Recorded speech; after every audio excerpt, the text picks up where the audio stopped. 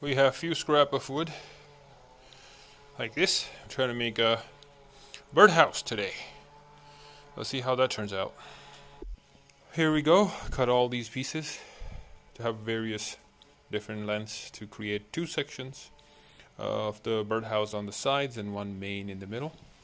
This here is going to be the main and these two are going to be the sides. We're going to connect like this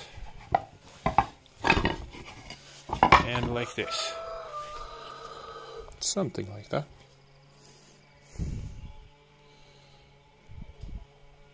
Here's a complete birdhouse.